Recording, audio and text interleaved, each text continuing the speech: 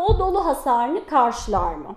Şimdi özellikle e, küresel ısınmanın e, farklılaşmasıyla birlikte, küresel ısınmanın e, artmasıyla birlikte e, Türkiye'de de olduğu gibi dünyada artık buzullar erimeye başlıyor. İşte kar düşmeyen bölgelere kar düşmeye, kar düşen bölgelere daha az yağış almaya vesaire gibi çok fazla iklim şartlarının değiştiğini görüyoruz. Doğal olarak da artık yağış sistemi, sel durumu, dolu durumu çok fazla arttı. E, tabii ki bizler de hem malımızı hem canımızı korumak için aslında bunu merak ediyoruz. Özellikle araçlar garajda durmuyorsa, sürekli işte kapalı bir garaj yoksa kişinin mutlaka dolu hasarını merak ediyor. Bir dolu yağdığında doğal afet durumu söz konusu olabilir. Yani dolu afetinin içerisinde dolu yağabilir. Ya da herhangi bir günlük güneşlik bir havada 10 dakikalık bir dolu yağabilir ama yine aracıma zarar verebilir. Böyle bir durumda kasko bunu gerçekten karşılar mı? Ne kadar karşılar? Durum nedir diye çok merak ediliyor. Şimdi ben onu kısaca şöyle özetlemeye çalışayım. Biraz tabii ki alanı olan bir konu. Şimdi bir dolu yağışında öncelikle doğal afet içerisinde geçiyorsa hatırlıyorsanız bundan birkaç yıl önce 27 Temmuz'da yaşanmıştı. Ciddi bir dolu olayı yaşandı Türkiye'de ve e, yaklaşık binlerce insanın araçları pert olma noktasına geldi. Çok ciddi hasarlar gördü.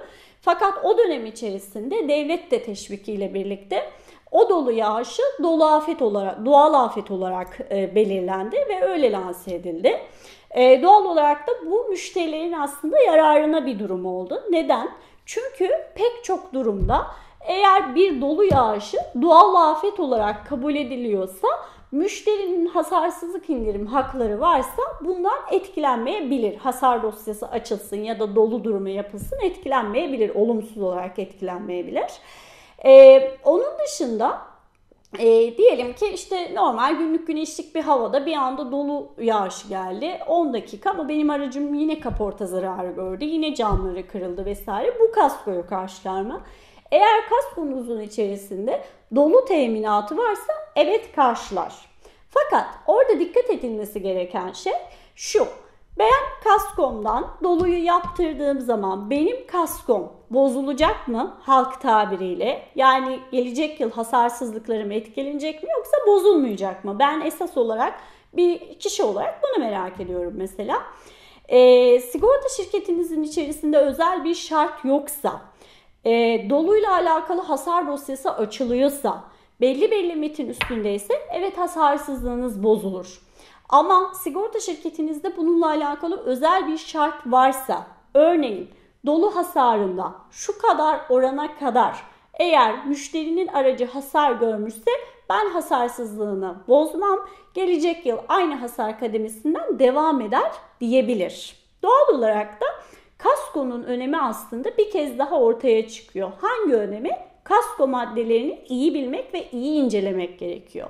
Kasko yaptırdığımızda trafik sigortası gibi standart teminatları olmadığı için ne, neyi, nerede, nasıl, ne ölçüde karşılar bunu çok doğru bilmemiz gerekiyor. Doğal olarak da dolu gibi çok ciddi şekilde, e, çok ciddi boyutlarda hasar verecek durumlarında neye sebep olacağı, hangi durumları bizde maddi olarak etkileyeceği ya da etkilemeyeceğini de bu şekilde öğrenmiş oluruz.